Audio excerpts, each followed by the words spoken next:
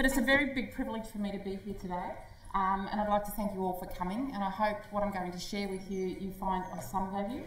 Um, I do want to thank the traditional um, owners of this land, but on all of the other lands that I've been working on, um, and there's a lot. Um, there's not many places in Australia we haven't been to. Um, so I feel very, very uh, fortunate, lucky, blessed to have been involved in those communities as well. Um, so the project that Alicia alluded to is um, a large national study and it's I'm, I'm probably going to tell a story more than work through the presentation itself because I think the story is a very powerful story. So when we started the project, and I was a, um, the sole researcher on this project because the places we went to, most people don't want to go to. We sleep on floors, um, we have to bring our own food in, all of those sorts of things. So it is a challenge, but I absolutely love the challenge. Um, and it's not, it's not for everybody. Um, so for those who do it, um, we, you feel very lucky to go to some of the places that most people would never go to. So the project started off with, um, when we look at the press, most of the press is very negative. Aboriginal kids can't do mathematics. The teachers who go to those places are terrible teachers. The communities are very dysfunctional. It's all a negative um, deficit discourse. Um, and you know, with every one of those stories, there's probably some element of truth in it. I'm not going to say that that's not, not the case. However, for me, there are lots and lots of teachers who are doing, and schools, and principals, and communities, and Aboriginal education workers, and I'll just use that term as the generic term, who are doing outstanding work. Um, so, what I wanted to do with this project was document what is actually working. What are those people doing in those sites that is actually bringing about success for remote Indigenous learners? Because if we can know that, if we're looking at a, spe a spectrum of learners, remote Indigenous kids are the most at risk of um, not succeeding. I won't say failing, but not succeeding in Western mathematics. Um, and there's a lot of reasons for that. It's very, very complex. It's not a matter of let's go in and implement program X, Y, Z and we'll fix it. It's not, it's not that at all. It, that, that won't work. So what were these teachers doing?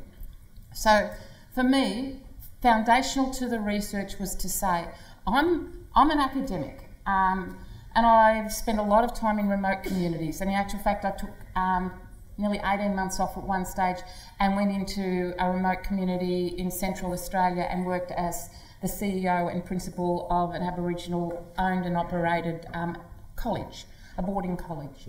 And for me, that was, for me, I needed to do that to learn and to understand what actually happens in those places and what are the issues. And what do teachers and leaders and the Aboriginal people themselves and the students face in their day-to-day um, engagement or not with school. So for me, that was a huge learning curve. And it also means now when I go into communities, I can talk with teachers because I understand, without saying anything, what they're confronting.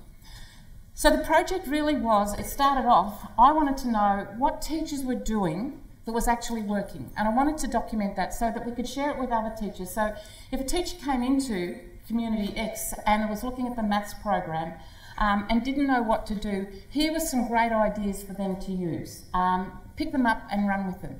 So for me, when we started it, what I was thinking I would be doing is going into lots of classrooms and observing teachers and picking up tips from those teachers about what they were doing. The outcome was very different. Um, and that's what I want to share with you because I think it's, again, it shows the complexity of when you work in remote Indigenous schools. Now, even though I'm talking about remote Indigenous schools, the thing that is really um, salient and poignant is that if it works in these contexts, it's probably going to work in your low SES communities. It's going to work in um, your communities where you've got a lot of um, English as second language learners because every community we went into, standard Australian English was almost a foreign language because in community they either spoke a traditional language or they spoke a Creole. So coming to school and learning maths in English was like when I went to school and I was trying to learn French. You know, the only time I spoke French was when I was at school, so it was very hard to learn it. So I sort of use that analogy for these kids when they're coming in, and we're talking about two halves make a whole. And in their heads, they're thinking you put two halves together and you make this thing here, um, a whole.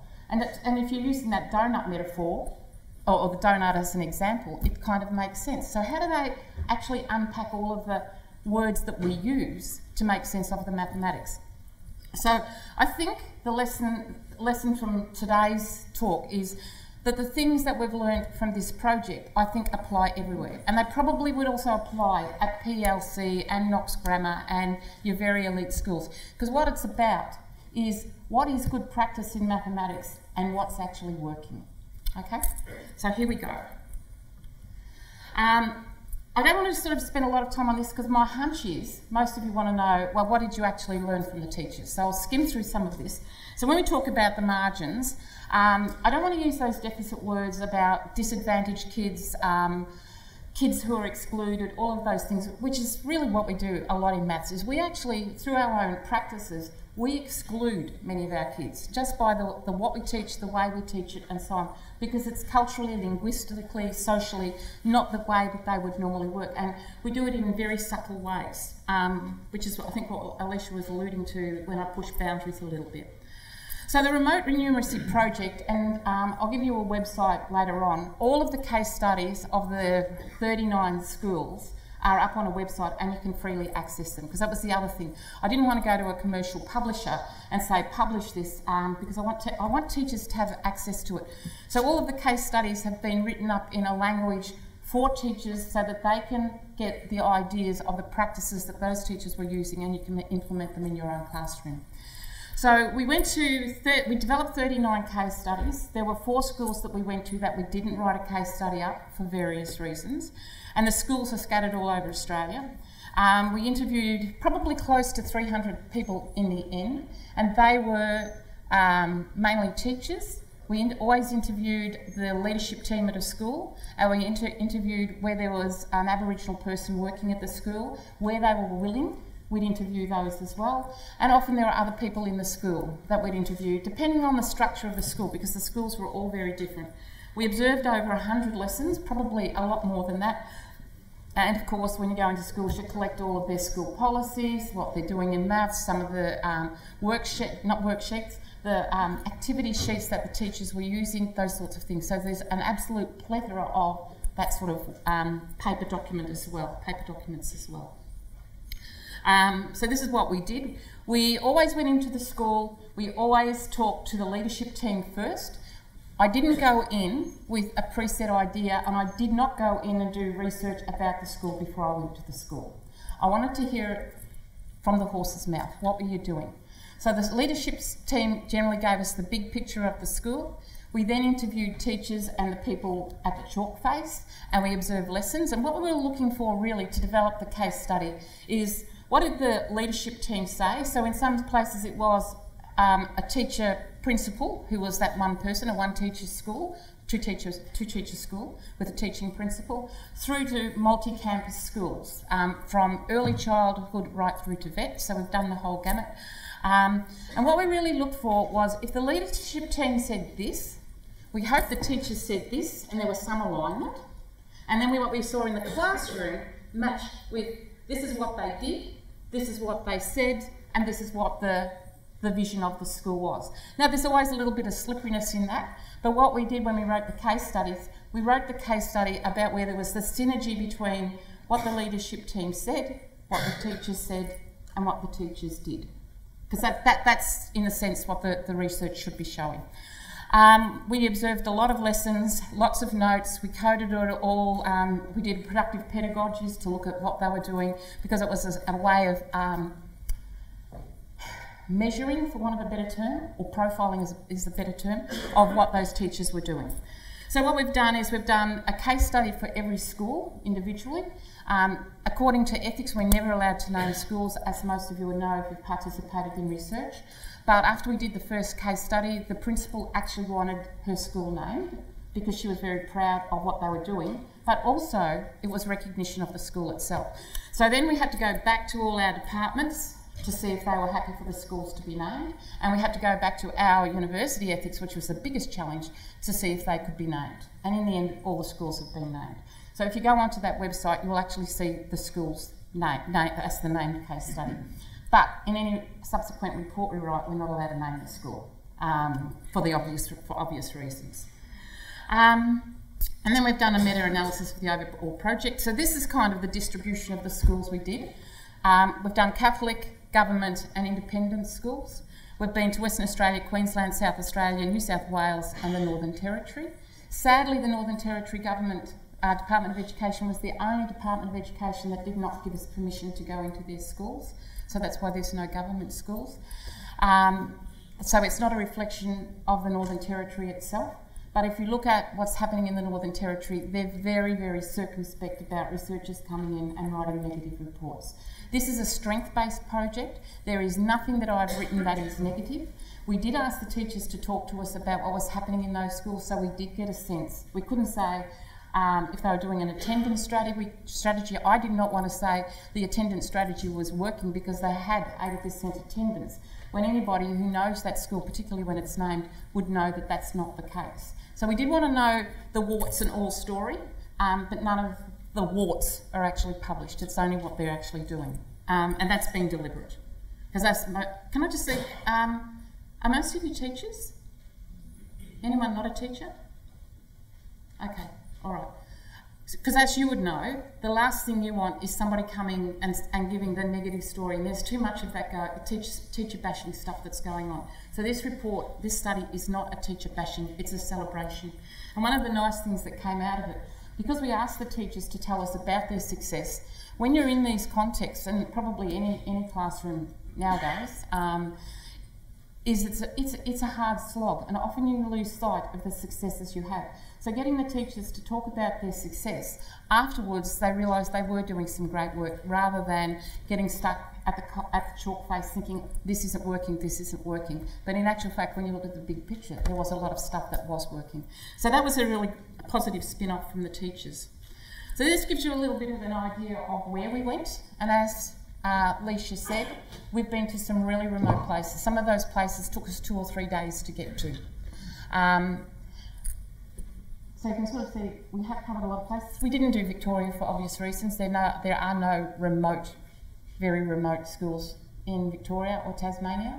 Um, so by definition, our inclusion of our schools were this. We included schools on NAPLAN, even though NAPLAN is problematic, but it is the only objective measure we've got of success. And if you go on to NAPLAN, you'll find that the schools that we went into, when you look at their NAPLAN um, scores, they've got a lot of red. Most of them aren't reaching national um, benchmark standards. But what we looked for was when you compared them to comparable schools or like schools. So what we were looking for were schools that I had gone from red to pink to white to light green to dark green. So they were, they were doing something that was working, so there was some success in there. Or we looked at schools that had green in their comparison with like schools but that had to be green for a number of years. So it just couldn't be a once off because in some of these remote schools, all it takes is for a teacher to come in, bring their kids in, and that will skew the results and the results will go up. So it's not a reflection of good pedagogy, it's a reflection of who was at the school at that point in time. So what we were looking for was some consistency over those years as well. We also went by recommendation, and you might say, well, why would you do that? Um, some of the district directors, some of the teachers would say, make sure you go to school X. They are having a lot of success, and even though their, their scores may not have reflected that, they were having success. So, one story is we went to a remote boarding school, and the boarding school was set up because they wanted the community wanted the kids taken out of community because there was a lot of distractions in community, and the kids weren't engaged in, in education. So they took them out of community and put them into this boarding school for kids from that community. Um, so these are secondary school kids. They might have been working at a grade one or two level in numeracy. When they had those kids at that school for a whole year, they added three years on to their numeracy scores in one year. So even though those students may have been, after one year, might have only been working at year four, which is still very low, the school had added a lot to those kids. So that's what we were looking for was those stories as well. So success doesn't mean that you're reaching that green benchmark on NAPLAN. We were seeing success in very, very broad terms. The other thing was the schools all had to be remote or very remote according to um, my schools, and they had to have 80% Indigenous because there are a lot of remote schools, like the school at Yulara. Um, it's very remote, at, that's at Uluru, um, very remote, but most of the kids, nearly all of the kids in that school, are the children from the families who work at the resort. So there were no Indigenous kids. So we were really looking for how are teachers working with Indigenous kids. Um, and as you can see from before, we had a, a, variety of schools across Australia, geographically, from the different systems, from different age groups, um, and what they were actually doing. Just quickly, if you want to go to the website, this is what it looks like. To find the website, just go to the University of Canberra, which is where I'm aligned to now. I can't say employed anymore because I'm just recently retired. Um, go to the University of Canberra and use the search tool and just type in remote numeracy. All the case studies will come up um, and you can access those um, and all of the reports as well. Um, so this is actually the project website when you get onto it. It will just take you straight there. So what did we find? One of the things that, that really struck me with this project was that um, I thought that we would be going into schools and we would be looking at what the teachers do, as I said at the start. However, sometimes we'd ring a school up and say, look, we need to, we'd like to involve the school in the project for these reasons. And I said, but we're not doing anything in numeracy. We haven't even looked at our numeracy program yet. So, for example, um, a school in Western New South Wales, they had decided that they needed to focus on student welfare, student well-being. And in that process, they were making strong links with community. They put in um, Aboriginal um, liaison officers. So if kids didn't come to school, some an Aboriginal person would go to their homes and check out what was going on in the home. Sometimes the kids may not have had shoes. They may not have had any food to send the kids to for lunch. And even though there was a lunch program, some families are very proud and they didn't want their kids to go to the lunch program because then people would know they didn't have food. And so the liaison person would then fix that problem, go and get the kids some shoes, go and get them a uniform, make sure they had lunch in a very subtle way so uh, other people didn't know. Their attendance was going through the roof. So logic says if the kids are coming to school, they're happy, they're fed, they're feeling safe, they're going to learn and they're going to learn maths. So what I what I, I started to realise is we just can't look at classroom practice. Classroom practice doesn't exist in a vacuum. So what we found, there are actually three levels of practice that we need to consider. So this is after the 39 case studies, and I can say not one of those case studies is exactly the same as another one. What one school did could be very different from another school.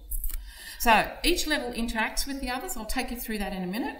Um, each of the school, each of them just had, had to address having a strong learning culture at that school. It wasn't a punitive culture.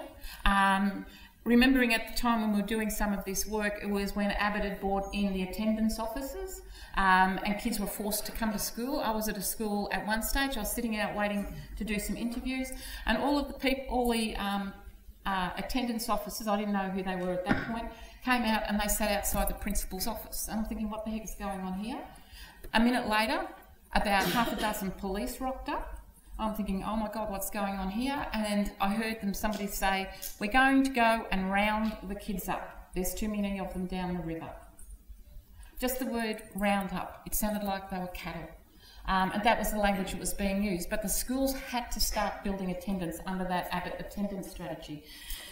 What happened then, they went down to the river, they rounded up all these kids, brought them back to school. Um, if you're down at the river having a lot of fun, the last place you want to be is at school. So those kids came back to school and they created mayhem. So you've got to ask about the whole attendance strategy. So the schools had developed a strong learning culture which is most of the schools we were at, I should say all of the schools, in one way or another, um, were having success. So that learning culture was um, very important. Um, and what we also found was there was a lot of one-off programs. So some schools had bought, one school had bought into um, a maths program that cost them $80,000 a year.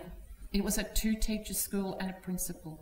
To me, I'm thinking 80,000. You could have had a couple more teachers' aides at the school. You could have had another full-time teacher, and that was just a maths program. The maths program was an online program, and one of the things you'll see if you read the reports, we try not to name any program for obvious reasons. Um, these schools are remote. They have satellite dishes to get the internet. If it's cloudy, guess what? They don't have internet. So what was the point of having an online program? $80,000. So um, they wipe that program. So the one-off programs don't work. So I think that's, that's another message I'd like you to take away. Please don't think that if you buy program X, that's going to, inverted commas, fix your maths um, pro program at your school. So the whole project is a strength-based project. So it really is about what are these teachers doing that's actually working. So we looked at the strengths rather than the deficits. So here's, here's the model. Um, where I thought we would be, would be in this enacted stuff. This is the stuff, the enacted level is what are the teachers doing at the level of the classroom? But what we found was a bit like the story about the well-being. We found schools um, had to have a vision. They had to have good leadership. They had to have a way forward that was going to say, this is where we're going, this is what we're doing. Most of the schools had a whole school approach to their mathematics. So it wasn't a case of you do this, you do this, you do this.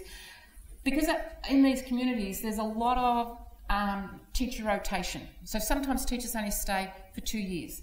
At one point in the territory when I was teaching up there, the average stay of a teacher was three months, the average stay of a principal was 12 months. So can you imagine what it is for sustainability of programs in those schools? And you go into the libraries, and there's so many different maths programs that they've bought. Somebody says, I'll try this, try this, try this. So what we've found is that we need to think about three levels of practice when we're thinking about a good maths program. We have to think about the vision. What's the vision for this school? And I think the fact that, and I don't, I'm not going to say this is the vision you should have because the culture in your school, the people you serve, the people you work with are all different. And so you really have to take the needs of your community, the interests of your community, the culture of that community. Again, whether that's at PLC or whether that's at Doomadgee or another, or Palm Island, um, even though I work at Canberra, I live in Queensland. Um, you've got to take that the, the, needs of that community. A remote desert community is very different from a coastal community, which is very different from a community in Redfern. So you need to have that vision about what is it that our school, our children, our family needs? So having that coherence, having a vision. But I think the thing that was consistent across all of our schools is that everybody had high expectations. This is the Chris Sarra work. It wasn't coming from Chris, but they had high expectations of the kids. These kids can learn mathematics. That is so important. Um, and they had high expectations of the teachers. Some schools would say, if you don't buy into our program, you might as well leave now. It's not worth you staying. There's enough stress in a remote community apart from somebody coming in and trying to stymie a program. So having that strong vision was really important. Having distributed leadership was also really important. None of the principals or none of the leadership teams that we worked with were of that authoritarian kind of dictatorial principalship where this is what you will do, this is this and this is that. It was much more of a distributed leadership model. Which comes to the middle level, which is the enabling practices. And in the enabling practices, two of the most important things we saw were those schools that had, uh, like, I think in Victoria you have them as a numeracy coach. But somebody in that school, so if you think about these remote communities, most of the teachers that are in them are first year out. Most of them are city kids. Most of them have never even seen or talked to an Aboriginal person. And yet here they are in a, in a remote community dealing with all the issues of isolation. Many of the communities get flooded in in the wet season, so they, they're stuck there. Um, all the issues around culture, all of those sorts of things. So what they had was a, a, numeracy coach, and that numeracy coach, you can't get teachers out. We're bringing teachers down to a PD in Brisbane from one of the communities um, next year. It takes them two days by the time you're linking your flights to get to wherever you're going. There's no flights on a weekend, so we have to keep them over in Brisbane for the weekend to fly them back Monday. So for a two-day workshop, they're out of community for a whole week. They don't have the luxury of um, emergency supply teachers because there's no one in community who can do that. So the other teachers have to take up their load while they're out. So the numeracy coaches in these schools were really important because they actually mediated between the vision of the school and what the classroom teachers needed. So in one school, attendance is at, in remote communities generally isn't that good and they're only for 80%. But in many schools, it might only be 50 or 40%. So even though they might have 12 kids in their classroom, on any given day there might only be six. So one school decided after they had savage cuts from their department that they would load up their classes knowing full well it was very unlikely that they'd get all the kids at any one time. And they took one teacher offline and that teacher then became their numeracy coach because they felt they needed support with mathematics, which is not um, surprising for anyone who's in teacher education because we know most primary school teachers don't like mathematics. It's their least favourite subject. So when they go into a remote community and they've got all of those other issues, they need support. So that, that enabling person um, was really important. And the other one was the role of the Aboriginal people in the community themselves. Having them come in, and we've seen a lot of team teaching where the teacher says it in English, the Indigenous person will say it in the home language. Um, because if you think, in, well, where I was in Central Australia, for example, I think in English we've got 65 or 67 prepositions. In Pitjantjatjara there are six. So how do you describe location? Near, next to, beside. All of those words that we use in English are absent in um, Pitjantjatjara. That doesn't mean to say they don't know that somebody's near, next to, but they don't have the language. Similarly, they don't have comparatives. So if something's, you say to an Anangu person, how far is it? And they say, it's a long way. It's a long way. It's a long way. So they use a lot of intonation and gesture. So those words that we use in mathematics, which are really common, are not in their home language. So it's a lot about teaching. So the Aboriginal education worker, the AEW, serves a critical role in mediating the school language and the home language. So they were really important. And then there's the enacted practices, which is what I want to focus on in the rest of the talk. So for me, I could have just sat down and thought, well, here's the list of all the things that teachers do. But I don't think that works. How did we make sense of one school um, that might have had, um, now we didn't see, I have to say, we didn't see any schools using direct instruction, but let's use direct instruction as the example. So you go from something that's a very direct uh, teacher teacher-centred model right through to investigations child-centred learning how do you actually make sense of those kind of practices it didn't make sense to me just to list down all the things they did so what we've come up with in the project is this notion of norms. There are norms that teachers have in their classroom. And so when we're talking about the enacted mathematical norms, so these are the things that teachers do. So these are kind of the principles that are behind the practices that the teachers adopted. And I think this is where this work now becomes very important for anyone who's thinking about their maths programs. So we have enacted mathematical norms. So all students can learn mathematics to very high levels.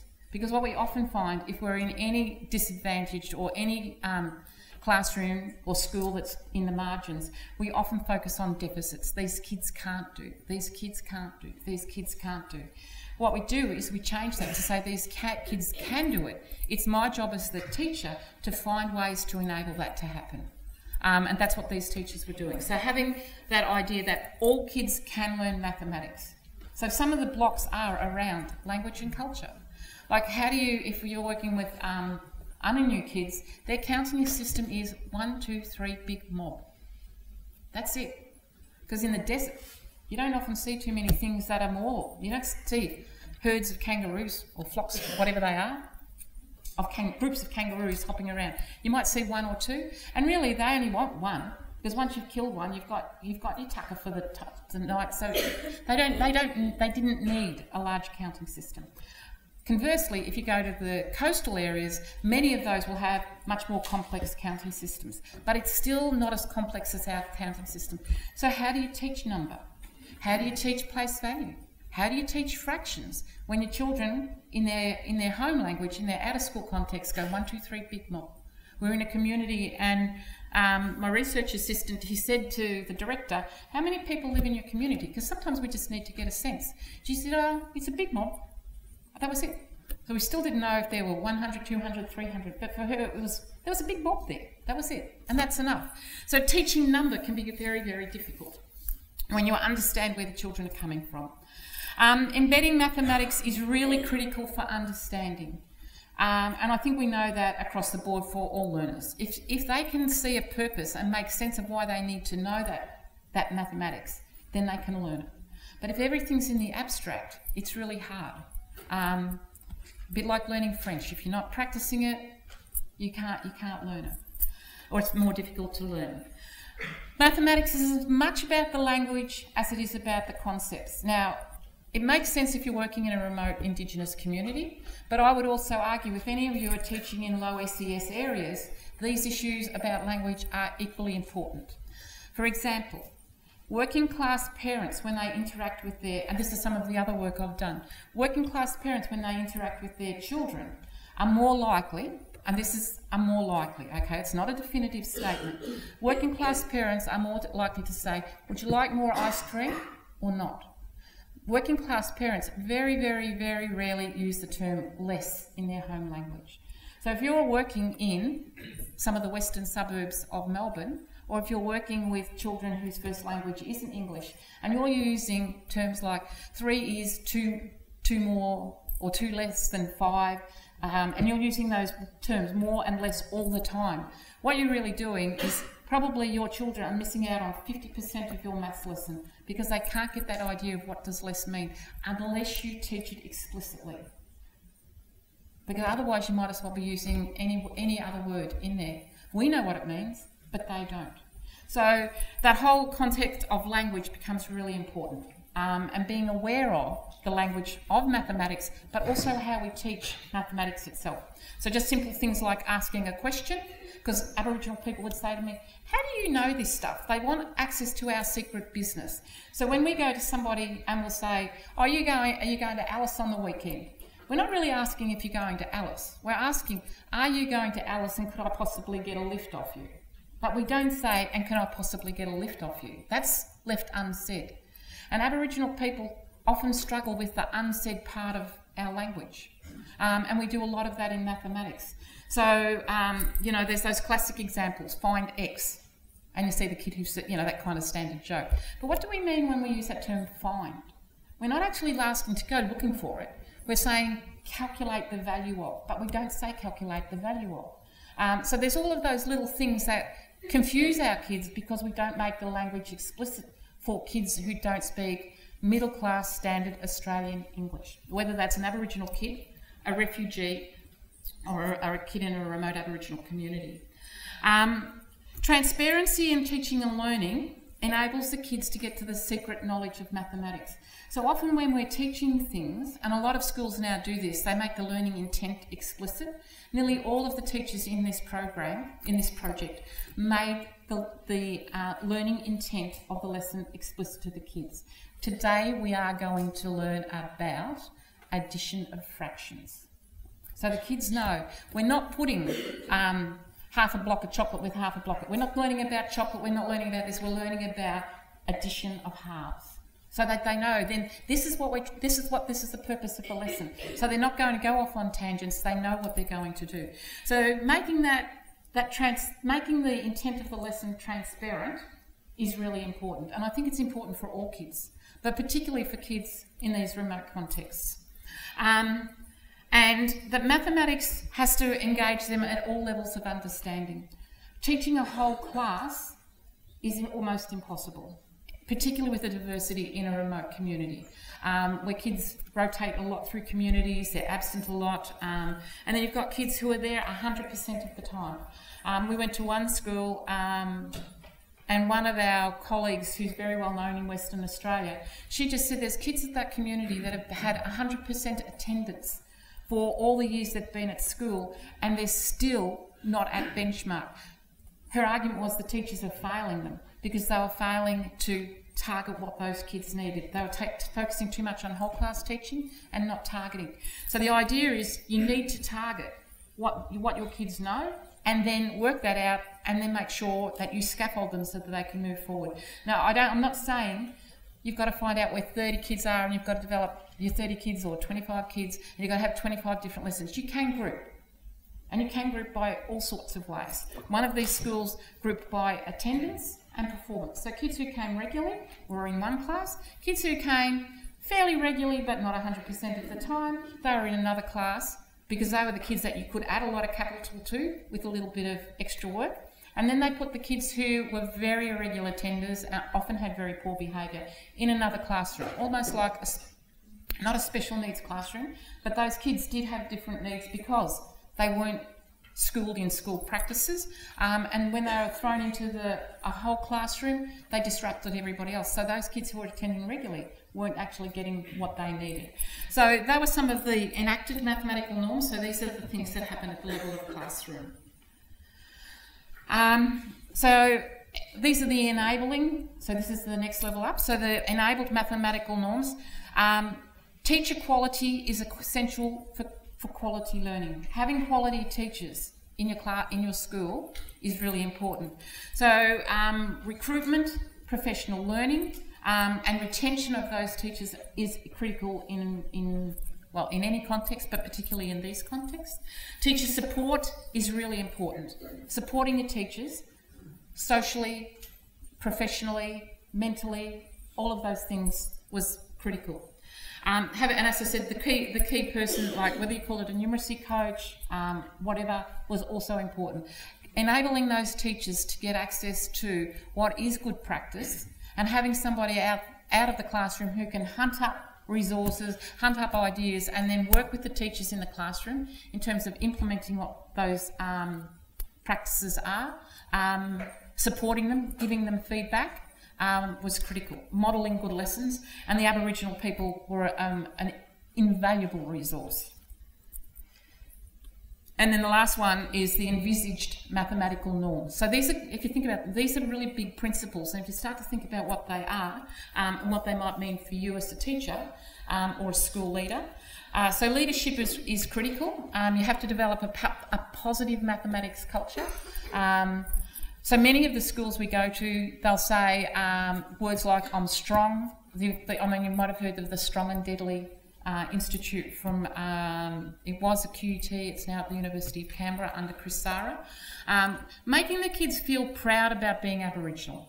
Um, or making the kids feel proud that they're from St Albans or wherever you're. I think St Albans is a low SES area. Yeah, okay. Um, or from Corio, from Whittington. I'm, i was originally from Geelong, so I know that area a little bit better. Um, but having having those that, that, that, strong culture about being proud of who you are rather than being ashamed of who you are. Because if you're ashamed, you're not going to learn. And the, the other one was developing a whole school approach. Now, the whole school approach was very was very um, critical because it meant that when teachers went into the um, the staff meetings, they had a common thing that they could talk about. So there was often in these schools a lesson a lesson structure. Now, you might think this is a little strange, but in many of the schools, they had a two hour literacy block. No surprise there, we all know literacy is very important. But then they had, believe it or not, a two hour numeracy block every day. And then the last hour of the school day was for everything else because they, they knew that literacy and numeracy were critical for these kids. How would you run a two hour numeracy block? You have it structured in sort of little sessions. So there was a, a fast-paced revision. Um, then there was um, quick number facts, uh, something about learning, always something about priming. Because if you think about the communities, there's not a lot of the priming that we get in, in a city where, you, where we're immersed in numbers. The houses don't have numbers. Most of the kids don't know what their birthday is, so they were born either on the 1st of January or the 1st of July.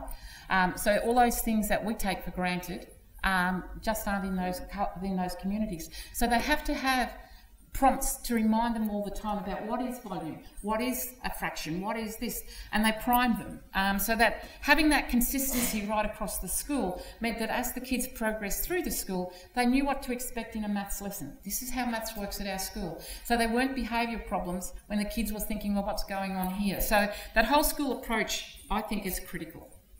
Okay, so let's go through the mathematical norms. How are we going for time?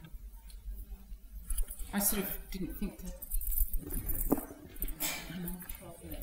Okay, got 12 minutes left.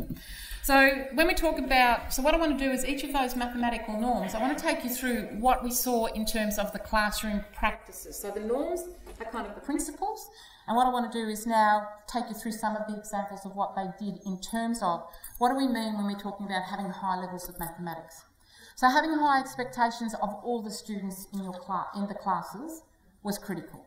Um, and it was the stuff about these kids are in year 10, this is what they should be learning, rather than, oh, these kids can't do um, long multiplication.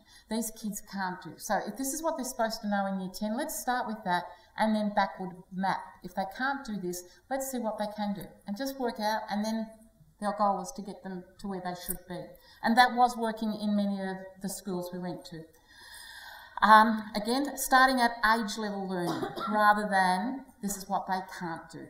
Um, so moving totally away from the deficit thinking. There was a lot of strong scaffolding, working out if this is where I want the kids to get to, how am I going to do that?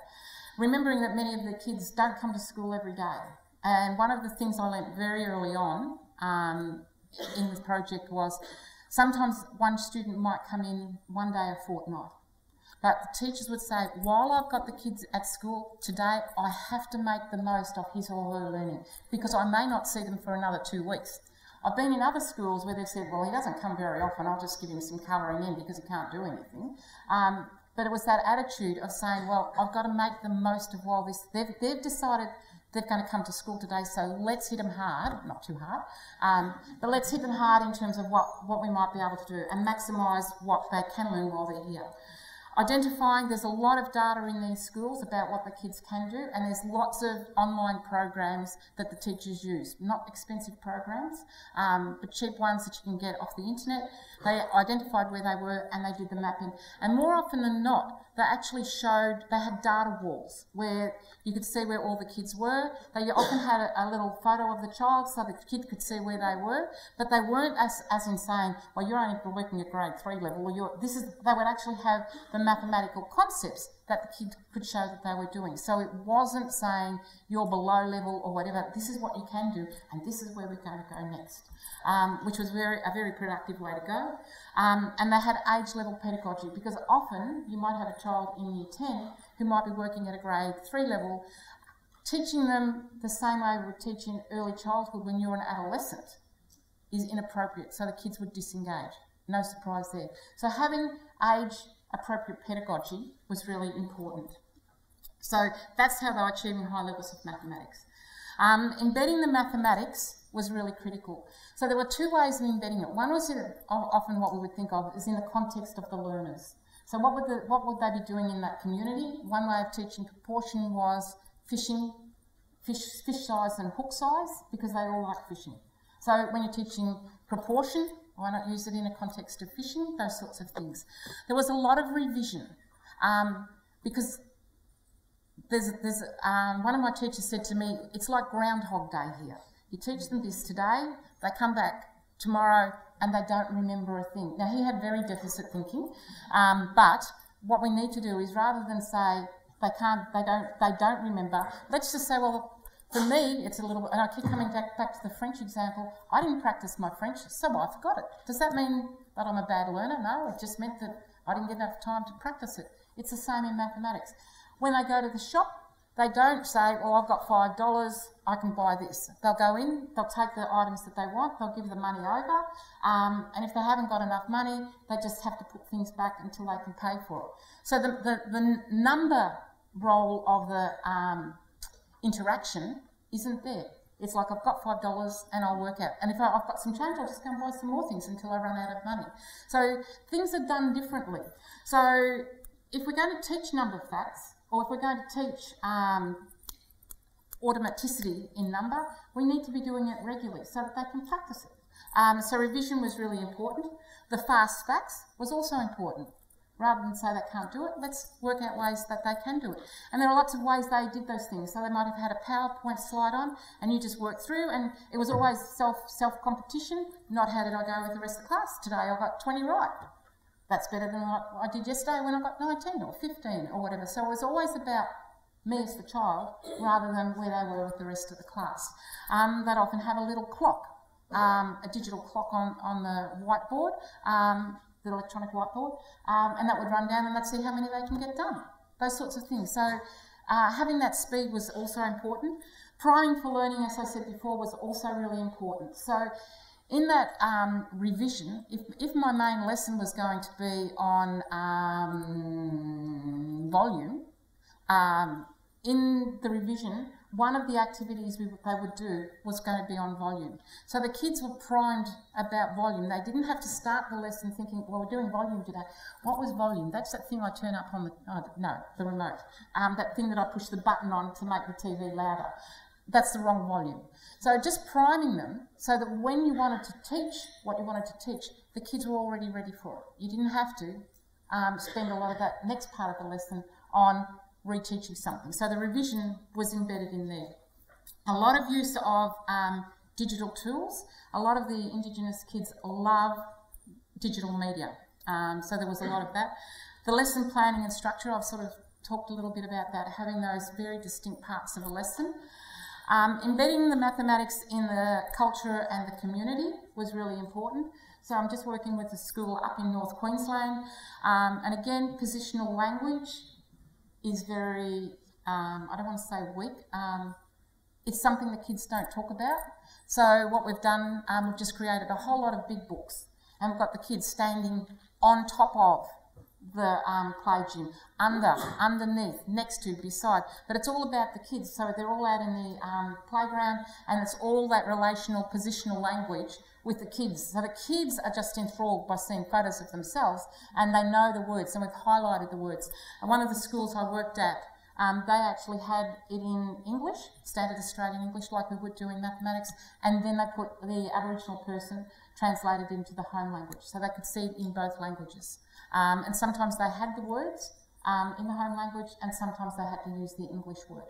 Um, but they, the kids actually worked through that. So having those things that engage the kids at a level that, oh, not at a level, but in a context that they like, they enjoy, actually made the, the learning more uh, relevant and meaningful.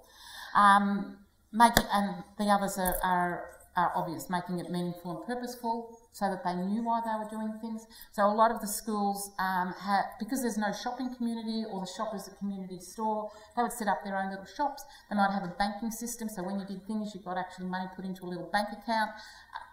And then at the end of each term or the end of each week, you could shop in the school shop, and depending on how much money you had, you could buy something or you could save it and buy something better next week. Um, some of the schools would actually give them real money, and once a term, they'd take them into Port Hedland or a big major area. They'd go into Coles and they could spend that money. Inevitably, those kids would spend money on their family, not so much on themselves. So having those contexts make it purposeful. Like then they understand what the sense of money is. Because if they're going to the community store, as I said, and they've got five dollars and they do that other bargain, they don't get um, financial literacy. So that was really important. So that embedding was important. I've talked a fair bit about the role of language, having that um, in the early years. So some of the schools we went to, the first three years they do a bilingual program, and then by grade four they move into only English. Um, others haven't got that support to do it in their home language or a bilingual program, and so they just launch straight into it. But having those Aboriginal people in the classroom really helps um, the teachers in terms of translating between the two languages. Creating resources was really important, um, and again, if you look through the case studies, there's a lot of work a lot of case studies on different things teachers have used. So that a lot of them have made big books, a lot of them have translated um, nursery rhymes into something around the context about, um, you know, the five, five pies in the in the Bailoo store, um, and like instead of mother duck, because they don't see ducks. Um, so they've done those sorts of things. Posters, prompt sheets, lots of prompt sheets with words around what those words mean. Creating word, word, word walls so that the kids can actually see the words themselves, know what they are. Um, create, and I'll just go through those, but creating where the kids create their own dictionary, validating the home language. What we did find was that when you do a lot of these resources, it's not enough just to have a word wall or a prompt sheet or definitions sitting on the wall. You actually have to teach the kids to go to that resource. So the teachers would actually model. So if I get stuck and I don't know what tessellate means, what do I do? And in inevitably, sometimes there's a culture of dependence um, because Aboriginal kids want to please the teachers. So, miss, miss, miss, miss, miss, miss, um, or sir, sir, sir. Um, what does that word mean? So the teachers would model. If you get stuck, have a look over here and see what this is. So if I don't know a word, if we're doing shape, for example, have a look at our word wall and see what see what it can be. So it's actually the teaching and modelling to the students. If you get stuck, go to the word wall and have a look and see if you can work it out yourself. And when you can't work it out, let's ask one of your friends, or let's ask somebody else. Don't always ask that. So it was teaching them a lot of about independence as well. So teaching you teaching them to use the resource rather than have a nice pretty room with all resources everywhere that the kids never use. Um, we also saw a lot of code switching. So what would happen is the kids might speak Creole, they might speak English. So the teachers, rather than say, well, in school, the kids might say, they'll, they'll often say things quite crudely, like rather than I need to go to the toilet, they might say, I need to, I want to go to the, and they'd use another word. Um, and the teacher would say, that's Creole. In classroom, we speak English. So you know those wristbands you have for sporting events, the little rubber bands? So they'd have one in English and one in, for one for Creole. And rather than the teacher always saying, now we're going to do this, now we're going to do this, they just point. And it took a lot of time out of the lesson so the kids would know, oh, I've said that in Creole, but the teacher wants me to say it in English. So I better say it in English. So please, Miss, may I go to the toilet? That's okay, and off you go. Or this is how we say it in English, or this is how we say it in Creole, and that was okay. So it, it actually enabled the kids to code switch really well. Um, so I think that's it. So transparency, I've talked a little bit about. Um, making sure the kids really know what they're doing. Um, so it's getting out to that secret, secret knowledge. So having the learning intent shared, stated and shared. So the kids actually know what's going on. Also about behaviour, what things we will expect. Now, of course, there's the behaviour, but there's also in maths classrooms, um, in say things like group work, or if we're doing investigations, what behaviour do we expect? What do we ex expect from those children? Um, and making that very clear to them.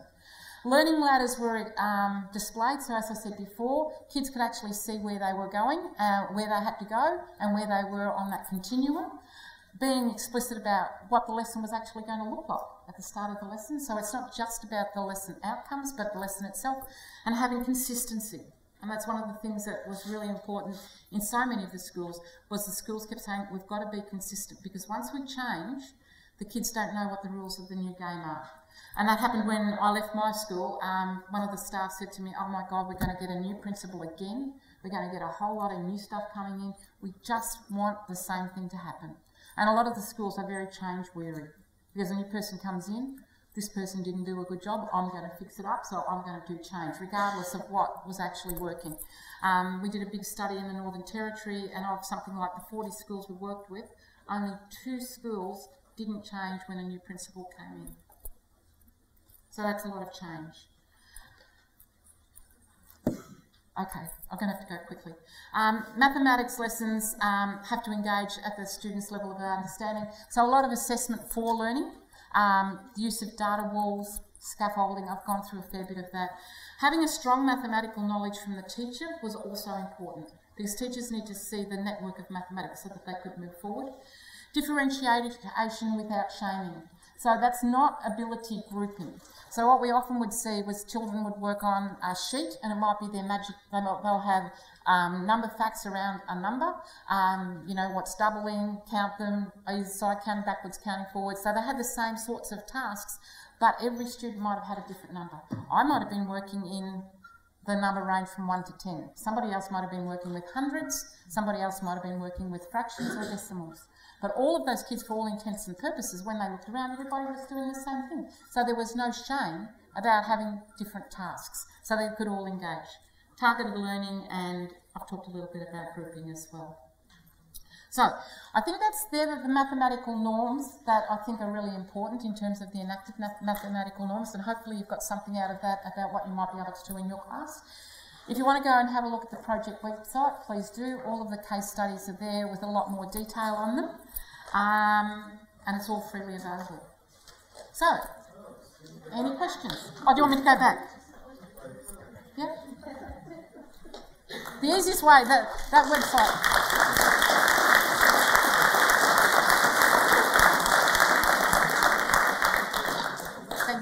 That website address is hard to get to, so just go to the University of Canberra, use the search tool, type in remote numeracy, and you'll get there.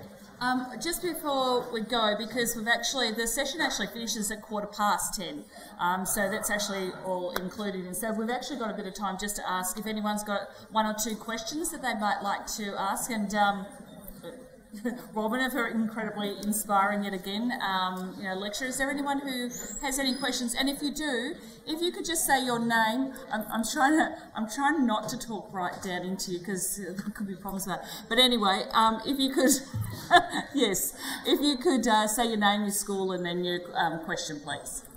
Yep. Hi, I'm Richard from Yarmouth College.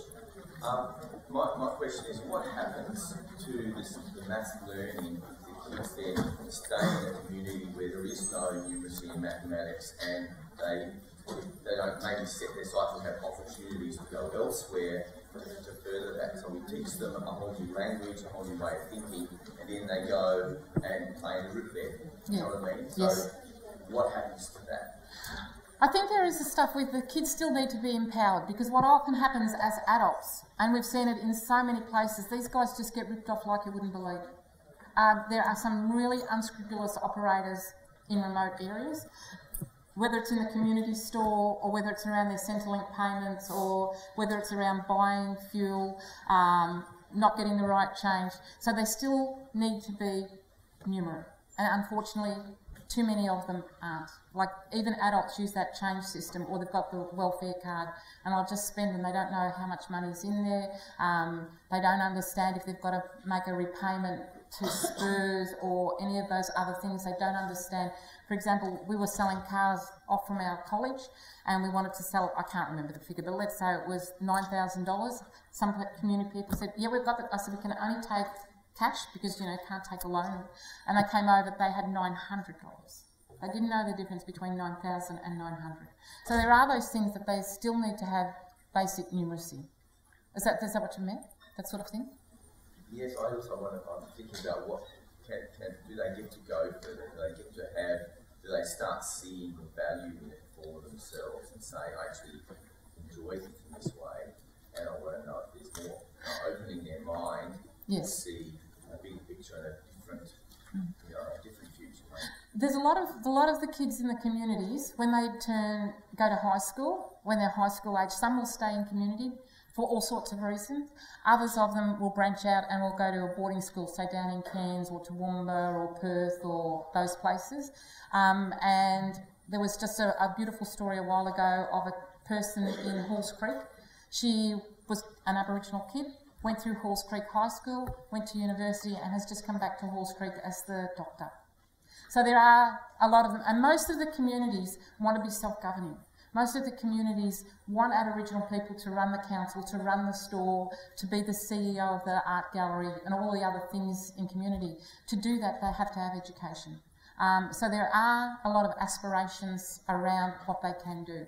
Um, so yes, um, there are opportunities, but I think part of it is we've got to, as educators, we've got to find out what it is that they want to know to, like the whole stuff about context. What is it about those contexts that make these kids think and engage and want to learn, rather than doing some of the horrible, mindless repetition that we do do.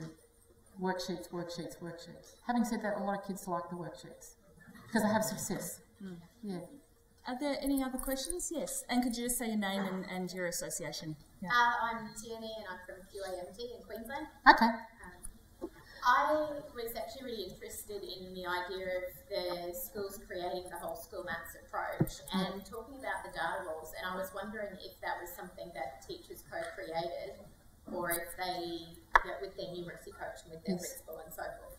Or if they somehow ended up getting that from the Australian curriculum or some No, but the, if you go through some of the case studies, um, some schools were so focused, all the schools focused on data. Some of them collected data just for data's sake and didn't do anything with it.